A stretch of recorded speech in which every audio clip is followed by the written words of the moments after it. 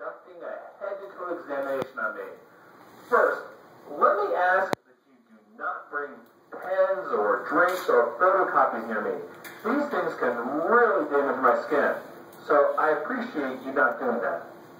To get started, please press my Wiglet Pulse. Obviously, I can talk, and during our simulation training, you'll be able to ask me about my medical history and other things, like uh, favorite songs and TV shows.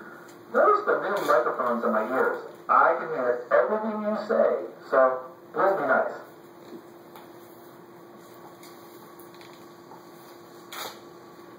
Do you find it warm in here? I'm sweating. I hope I'm not getting sick.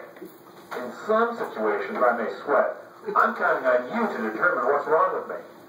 When I'm sad or in pain, I may cry. I hope you pick up on my emotion and ask me what's wrong.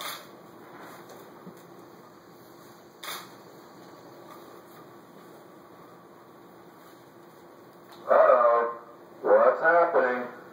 My oxygen saturation level is dropping. You see the value changing on the patient monitor? Look at my mouth. I'm becoming cyanotic. And my start breathing faster. When this happens, I hope you'll take quick action to save me. I've reset my respiratory rate and SpO2 to their normal limits. Ah, that feels better. Now, I'd like for you to check out my pupil response. Try to emulate into my pupils and know how the pupil size accommodates the light. This is the Pretty neuroplasticity cool, huh? Click on my carotid pulse when you're ready to move to the next Your feature. pupils changing?